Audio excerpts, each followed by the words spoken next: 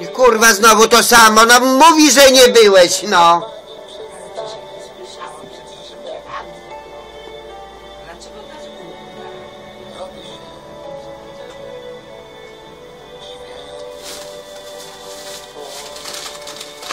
Wlazła ci do łóżka.